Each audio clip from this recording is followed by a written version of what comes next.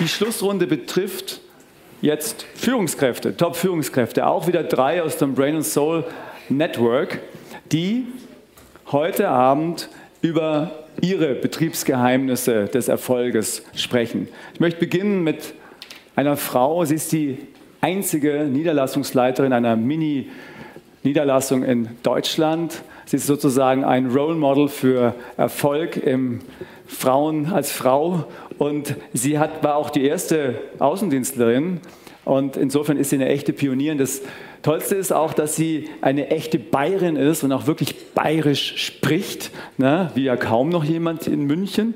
Äh, sie ist eine Kämpfernatur, die nie aufgibt und ähm, vor allem an ihren Werten hängt. Echte, traditionelle, bayerische, deutsche Werte, Tugenden.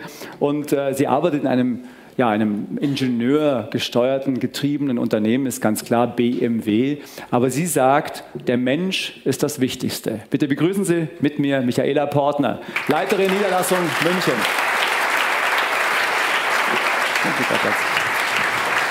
Setze ich mich mal hier. Unser nächster Gast ist Johannes Sieferlinger. Er ist Chef von Rituals. Das kennen Sie wahrscheinlich alle, diese wunderbaren Duftkerzen und Produkte, die man im Bad benutzen kann. Und dahinter steckt eine, eine unglaublich spannende Idee, nämlich aus den alltäglichen Ritualen, aus den alltäglichen äh, Aktivitäten echte Rituale zu machen. Er sagt, ich bin zutiefst davon überzeugt, dass wir unsere täglichen Rituale oder Routinen in bedeutsame Momente verwandeln können, denen wir, wenn wir ihnen den Details und uns selbst etwas mehr Aufmerksamkeit schenken. Er hat auch ein anderes Motto, was ich sehr stark finde. Geh niemals, niemals einen Schritt zurück, niemals außer um Anlauf zu nehmen. Er hat 26 Jahre Management-Erfahrung und ähm, insofern ähm, kennt er viele Unternehmen wie Nike, Fossil, Levi's, Oakley, Bogner, Indigo und so weiter. Und ich glaube, ein wesentlicher Punkt für seinen Erfolg als Führungskraft ist seine ehemalige Karriere als Bundesliga-Hockeyspieler. Insofern hat er viel mit Carlo zu tun. Er ist begeisterter Bergsportler zu jeder Saison, also nicht nur, wenn es schön ist. Und er ist heute hier und wird ein bisschen berichten, wie er an die, glaube ich, 1000 meistens Frauen leitet und äh, dazu bringt, dass sie so wunderbar in diesen Geschäften agieren. Bitte begrüßen Sie mit mir Johannes Sieferlinger von Rituals.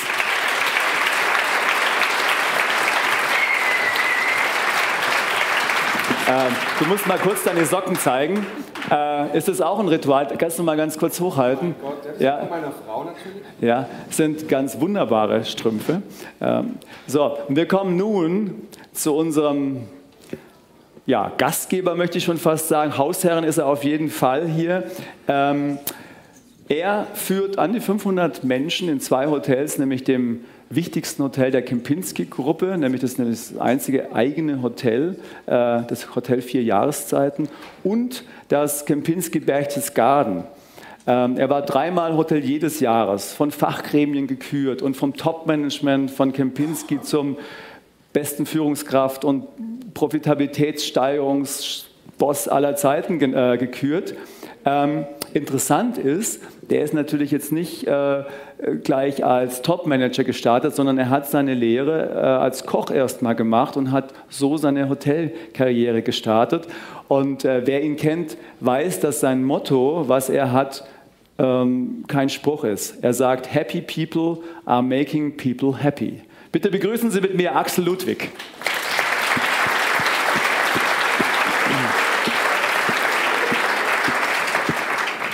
Ähm, Michaela, es liegt nahe zu fragen, wie du es eigentlich als Frau in so einem männlich dominierten Ingenieurunternehmen geschafft hast, äh, tatsächlich eine Niederlassungsleiterin zu werden. Und immerhin ist es die größte Niederlassung der Welt von Mini. Und äh, ja, du hast ja auch noch eine Tochter und es ist ja jetzt nicht so, dass du nur, äh, nur immer arbeitest. Also wie hast du das eigentlich hingekriegt? Ja, ich bin ein Mensch, ich habe Benzin im Blut mit viel Leidenschaft und immer Herz am Menschen. Und äh, meine, als kleines Kind war für mich schon immer die Vision, ich möchte zu BMW. Das war so das Ziel. meine Eltern immer, was willst du machen? Ja, ich will zu BMW. Ja, willst, was willst du machen? Ich will zu BMW. Vorstellung hatte ich keine. Und ähm, als ich dann mit der Schule fertig war, bin ich dann voll motiviert zu dem Einstellungstest zu BMW gegangen. Ich bin ein 67er Jahrgang, die, die Idee hatten natürlich mehrere Leute und ich habe es nicht geschafft. So, jetzt stand ich da, studieren wollte ich nicht. Hm, was mache ich denn jetzt? Meine Eltern haben gesagt, du, du musst einen Ausbildungsberuf erlernen, weil so umeinander sandeln, das gibt es bei uns in der Familie nicht, also stell dir jetzt irgendwas vor. Und dann war ein Anwalt bei uns im Bekanntenkreis, der gesagt hat, hm, du bist echt interessant, wie wäre es denn, äh, dass du Anwaltsgehilfe machst? Keine Ahnung, was ein Anwalts, äh, Anwaltsgehilfe macht. Ich froh motiviert, ja, ja, mach das, habe dann eine Ausbildung als Anwaltsgehilfin begonnen.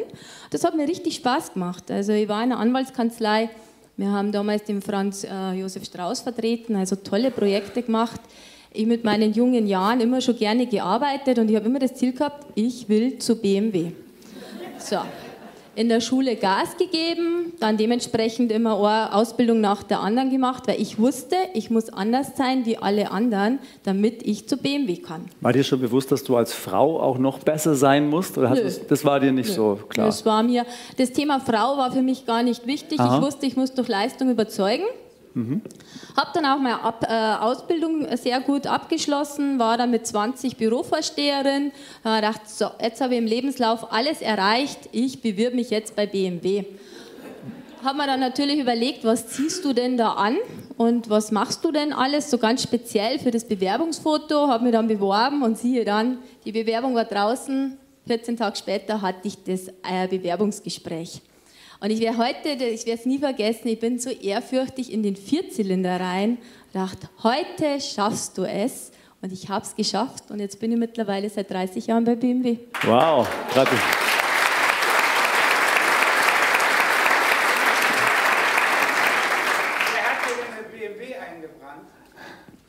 Der, das liegt in der Familie. War, ich glaube, das war der Großvater, wenn ich das, ja, ja der Großvater. Das war der Großvater und auch mein Vater. Das erste Auto war ein BMW, ein 508er und wir sind mit BMW Frühe aufgewachsen und meine Tochter ist heute schon genauso. Wo ist es nochmal, das Tattoo von BMW, was er dir das da... Das wird nicht gezeigt. Okay, gut. Axel, ich denke mir das einfach so. Axel, ich weiß, dass du nicht mit goldenen Löffeln im Grand Hotel aufgewachsen bist. Ähm, du hast es aber trotzdem geschafft, zu einem der Top-Hoteliers, auf jeden Fall weiß ich jetzt in Deutschland, zu sein zu, äh, zu werden. Wie kamst du dahin, dass du jetzt hier Chef von zwei großen Top-Hotels bist? Ja, das ist eine um, interessante Frage und eine lange Geschichte. Ich bin ja eher beim Carlo. Ich habe es, glaube ich, auch in meinem Leben als so einen Moment gegeben, wo ich gesagt habe, ich muss da weg, ich muss da was verändern, ähm, um da rauszukommen. Das war dieses, dieser prägende Moment, ja, dieses, dieses äh, Ereignis, was passiert, wo du sagst, so geht es nicht weiter. Und das äh, liegt bei mir in der Kindheit äh, verborgen, sage ich jetzt mal. Ich bin äh, jetzt, wie du schon sagst, nicht mit goldenen Löffeln aufgewachsen. Ich bin äh, jahrelang in den Kinderheimen, habe ich gewohnt. Nicht, weil ich selber ein Waisenkind Im bin. Im Kinderheim. Kinderheim, Waisenkind, Waisenheim. Nicht, weil ich selber ein Weiser bin, aber meine Eltern, mein Vater ist Heimleiter gewesen.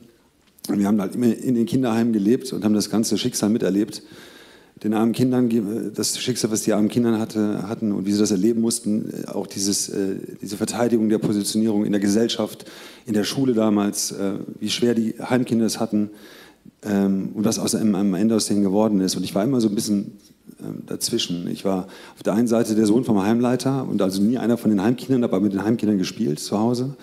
Und auf der Schule war ich immer ein Heimkind für die anderen Schulkinder und ich war irgendwie nie so richtig anerkannt und ich glaube, das hat so sehr stark an meinem Selbstwertgefühl äh, genagt und ich habe gedacht, äh, nach irgendwann, als ich so 16 war, auch ähnlich wie der Carlo, jetzt musst du irgendwas ändern und jetzt musst du raus aus der Kiste und jetzt du, musst, musst du äh, was aus deinem Leben machen und Karriere machen. Ich wusste damals noch nicht, dass ich Hotelier werde, aber ich wusste, ich will was erreichen und so hat das Ganze eigentlich angefangen. Wann hast du deine Kochlehre gemacht? Weil du der dann größte Koch werden gemacht. wolltest? Ja, ich wollte dann erstmal erst wollte ich erstmal eine Lehre haben. Das war, ich war ja nicht so der sicherste, äh, selbstsicherste Mensch da auf, die, äh, auf, dem Planeten. Das heißt, du warst damals auch schüchtern? Ja, war schüchtern und du warst doch sicher auch schon gestottert habe ich jetzt nicht, äh, aber Ja, ich war so, ich hätte mich gut mit Carlo verstanden, wahrscheinlich früher. Also eher zurückhaltend. Eher zurückhaltend. Und dann äh, habe ich auch mal erstmal so einen kleinen, äh, in einer Schnitzelbude angefangen. Und dann habe ich dann gemerkt, dass die anderen auf der Berufsschule viel besser kochen können als ich, weil die in großen Hotels gelernt haben. Und dann habe ich dann die Lehre abgebrochen, bin die, zu den großen Hotels gegangen, habe dann unter anderem auf dem Petersberg gekocht, habe mich in meinen vier Jahreszeiten als Koch beworben, wurde aber abgelehnt. Äh, dann habe ich mir gedacht, boah, das muss ich jetzt ändern. Den Personalleiter, der mich da abgelehnt hat, den schmeiße ich irgendwann mal raus. Hast du das, hast, und hast du ihn rausgeschmissen mittlerweile? Nein, der war nicht mehr da. Hat das Talent nicht erkannt? War nicht mehr da. Kam es nicht mehr dazu? Oh, okay. Das ist natürlich schon klar, dass du natürlich dann nach oben wolltest und raus wolltest. Johannes, hast du auch so ein Schlüsselerlebnis gehabt oder bist du geprägt von deiner Bundesliga-Hockey-Karriere, dass du dieses, diese Karriere eingeschlagen hast und jetzt diese große Verantwortung mit Menschen hast? Menschen, richtig. Ähm, zwei Korrekturen. Also ich bin nicht der Chef, ich bin einer.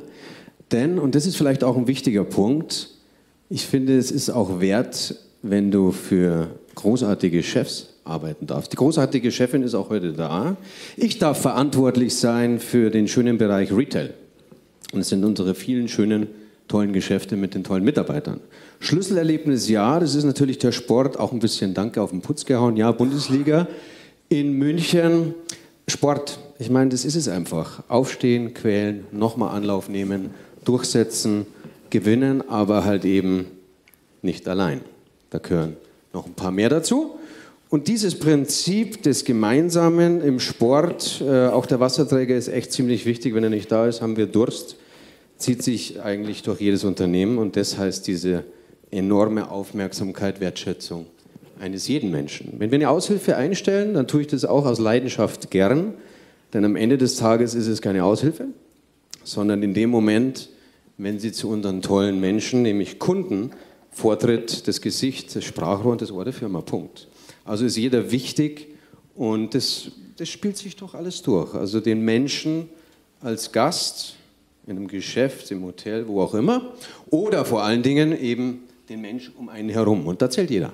Das habe ich im Sport gelernt, weil du brauchst jeden, um zu gewinnen. Und Gänsehaut. Ich habe mir überlegt, was treibt dich an? Ich weiß nicht, wann, wann ihr das letzte Mal Gänsehaut hattet. Nicht vom Streicheln, sondern vom, ähm, von dem Gefühl. Und dieses Gefühl, dieses Hoheitsgefühl, das ist echt toll. Und wenn du das in einem Gespräch mit einem Mitarbeiter oder mit einem Kunden hast, dann hast du Erfolg. Dankeschön. Dankeschön.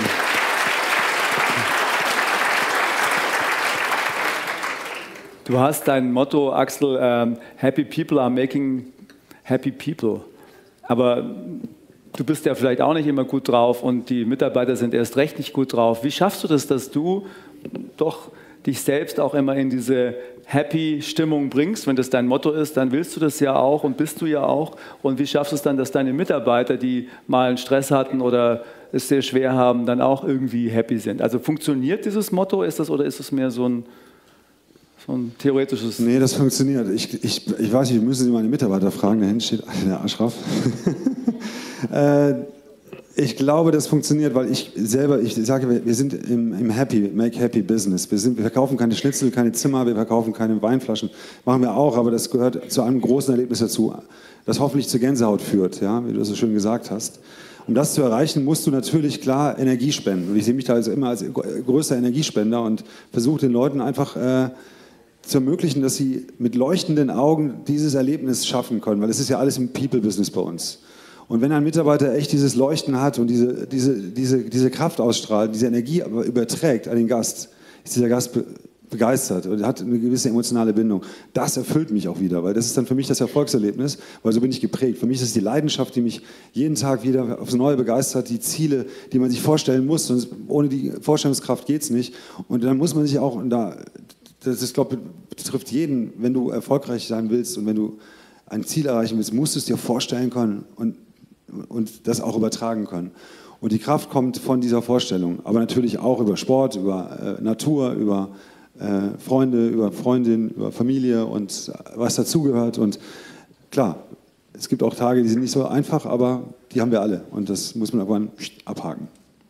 Okay, wie ist es bei euch? Ich glaube, die ähm, Autoindustrie ist ja momentan auch in einer Umbruchssituation. Ähm, Tesla greift euch an. Äh, überhaupt ist die Frage, ob in 20 Jahren noch jeder ein eigenes Auto haben will.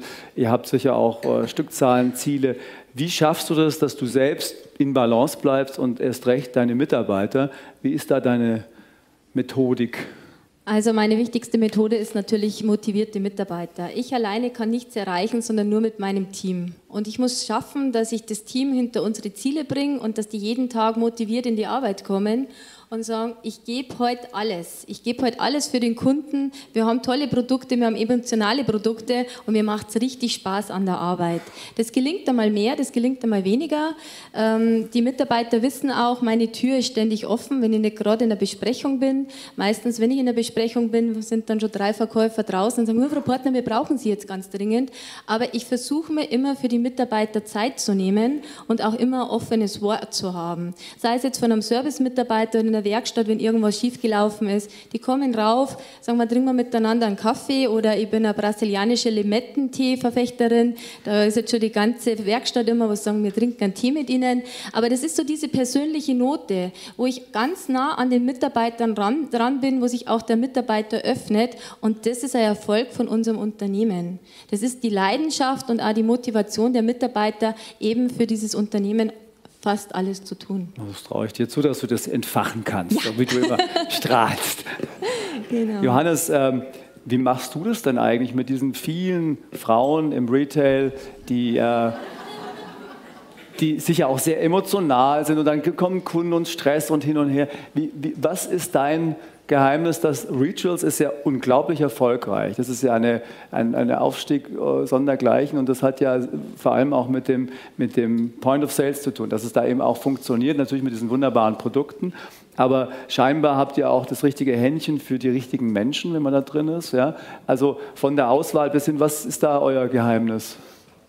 Ähm, such nicht die Besten, sondern die richtigen einfach. Moment, nicht die besten, sondern die richtigen. Kannst naja, du das mal erläutern? Was ist da der Unterschied? Also ganz ehrlich gesagt, also in den letzten drei Monaten haben wir 21 Geschäfte aufgesperrt. Also manchmal reicht auch schon ein Geschäft.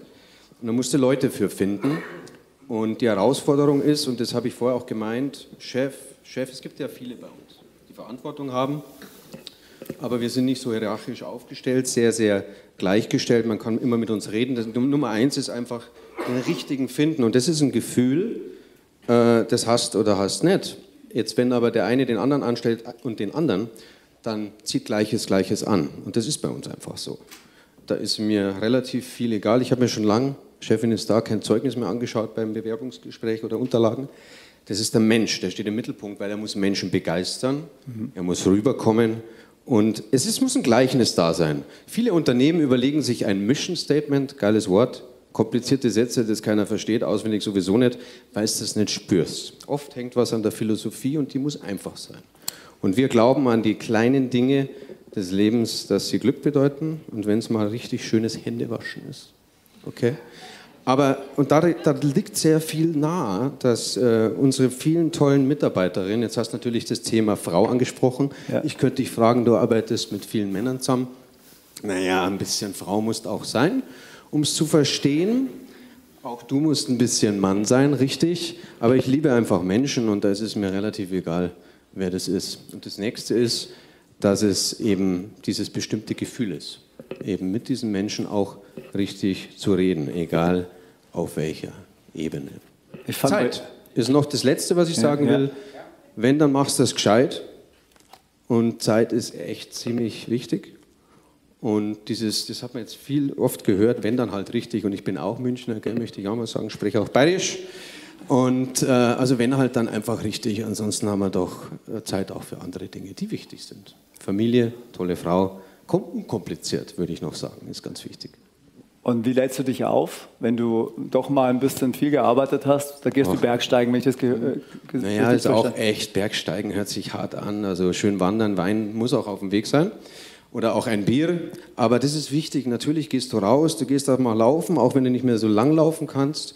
Also so einfach auch kleine Dinge. Einfach mal vielleicht was Lustiges hören oder lesen. Freunde, natürlich. All diese, oft sind es gar nicht so große Dinge. Jetzt muss ich eine große Reise machen. Es reicht auch mal kurz an der Isar zu sitzen. Okay? Du hast mir mal gesagt, dein absolutes Unwort ist mal. Mal und Was Het. ist mit dem Mal? Warum magst Naja, du das nicht? Das ist, äh, das ist echt cool, wenn du mal sagst, du triffst geile Leute und hast einen tollen Abend. Hey, lass uns mal was machen, vergiss es. Ähm, mach's gleich, mach was aus und es ist toll. Weil wenn du das Gefühl hast, dann nimm das wahr. Und das zweitschlimmste Wort ist het. Also das gilt zu vermeiden, das sollte man eigentlich, wenn es geht, nicht sagen. Und wenn man das zusammen auch ähm, mit dem Team so lebt, dann macht man es halt einfach. Und es macht auch Spaß. Und äh, da gehören halt viele, viele dazu, nämlich jeder Einzelne. Jetzt verstehe ich, warum das bei euch so läuft. Naja, und es macht halt auch echt richtig viel Spaß. Also Menschen zu verwöhnen. Ich habe bei tollen emotionalen Unternehmen arbeiten dürfen und dann sagen äh, echt Kunden zu uns, sie lieben Rituals oder sie lieben das Produkt. Es ist echt cool. Am Ende verkaufen wir aber kein Produkt, sondern echt Geschichten. Okay, macht auch Spaß. Das ist ja wunderbar. Dankeschön. Das ist ja bei euch ähnlich. Ihr ver verkauft ja letztendlich auch ein Lebensgefühl äh, und ein Auto gibt es dann dazu, ne, sozusagen. Und äh, wie, wie, wie lädst du dich auf? Also wenn es dann doch ein bisschen heftig war? Ja, es ist jeden Tag eine neue Herausforderung, aber ich bin ein sehr sportlicher Typ. Also ich habe jetzt seit einem Dreivierteljahr das Powerjumping entdeckt und das ist ganz cool. Äh, Da kann man sich am Abend so richtig gut abreagieren und man hat den Kopf frei. Das ist so ein kleines Trampolin. Das ist so ein kleines Trampolin Und da und da rum, hupft ja? man mit 130 Beats und das ist richtig toll. Die Freundin, die heute da ist, die hat mich dazu gebracht. Die sagt, du Michaela, du musst jetzt unbedingt nochmal eine Alternative zum Job finden und das ist stark. Und ich kriege da auch immer ganz neue Ideen. Also mir läuft immer so der Tag durch, was haben meine Mitarbeiter gesagt, was könnte man ändern, wo sollte man vielleicht nochmal was umstellen und das ist echt gut. Ich kann es jedem nur empfehlen, Powerjumping zu machen. Ähm, man kriegt den Kopf frei und jetzt bin ich natürlich schon ganz heiß auf Skifahren. Also wir haben eine tolle Skigruppe im Freundeskreis und da wird schon genau getaktet, wann geht es jetzt los und wer hat welchen Ski und da wird auch alles analysiert, also das macht richtig Spaß. Also ich bin auch gerne in der Natur und eine typisch, Frau, wenn einmal so ein ganz schrecklicher Tag ist, gibt es halt immer ein paar Schuhe, da macht man dann auch nichts verkehrt dabei. Ich weiß.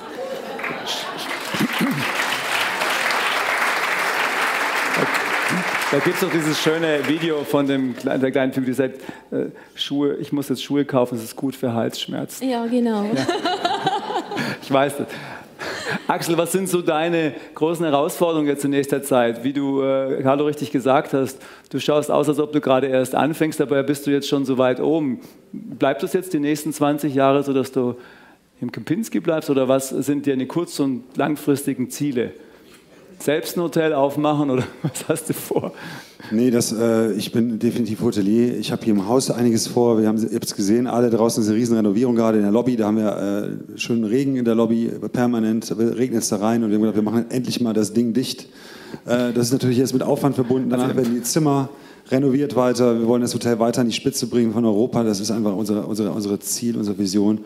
Das ist aufregend, das ist spannend. Und was dann passiert, ähm, ich hoffe, mir passiert das nicht, was im Carlo passiert ist. Vielleicht ist es aber auch gut, dass man mal das Ziel erreicht hat und nicht mehr weiß, was dann. Ja, das kann natürlich auch sein. Ähm, man muss halt mit allen Dingen rechnen ähm, und mal gucken, was dann passiert. Ist bestimmt spannend. Hast du eine Vision für in 20 Jahren? Älter werden, gesund bleiben, Spaß haben, Freiheit Ja. ähm, und einfach nur ja, das Leben genießen. Und jetzt an Silvester mal so richtig wieder am Ball es krachen lassen, denn es ist eins der Jetzt- geilsten Silvesterpartys in München. Da wirst- werdet ihr jetzt wohl alle drauf hin fiebern, oder? Ja, das ist äh, ein Abschluss eines sehr, sehr schlechten Jahres für uns. Also, du hast gerade gesagt, das Rekordergebnis, ja, bis auf dieses Jahr. Zu viel Unruhen, zu viel Terror. Wir haben leider sehr gelitten. Ja, ich habe das alles verfolgt, der Amoklauf und die ganzen äh, furchtbaren Dinge, die hier passieren. Ähm, und wir sagen jetzt am Ende des Jahres ein richtiges Fest gefeiert und vergessen wir das Ganze mal. Und jetzt geht es dann auf ein neues Jahr und es wird dann besser. Genau. Vielen Dank. Vielen Dank. schön. Dankeschön. Okay. Dankeschön.